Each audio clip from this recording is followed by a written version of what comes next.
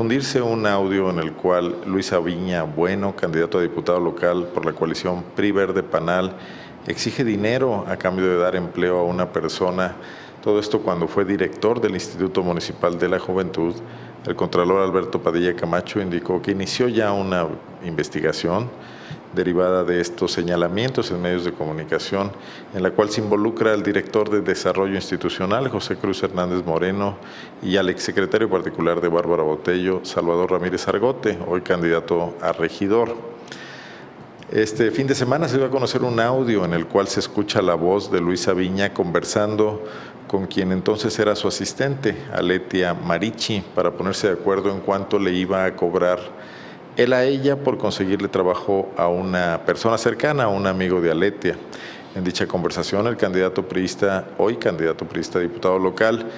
menciona que ya se comunicó con Chavita, como se le conocía a Salvador Ramírez Argote, el secretario particular de Bárbara Botello, actualmente candidato a regidor, quien le mencionó que Cruz, así se refieren a él, y presuntamente se trata de José Cruz Hernández Moreno, ya tiene la indicación de tener el puesto listo para quien entre. Por lo anterior, Alberto Padilla señaló que la investigación en curso no solo se enfocará en Aviña Bueno, sino también en sus superiores. La situación podría configurar un delito electoral,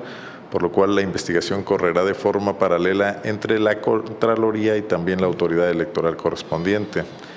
Alberto Padilla invitó a denunciar a otras personas en el caso de que también les haya sido exigido parte de su sueldo para poder entrar a trabajar. Esto dijo el Contralor Alberto Padilla.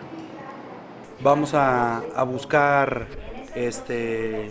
eh, no solamente el tema de, promoción juvenil, sino que también en la misma grabación que ya todos hemos escuchado, eh, hace referencia a una participación del director de desarrollo institucional y el director de em, eh, y el secretario particular. Entonces yo creo que esto es esto es muy lamentable, se puede configurar en un delito electoral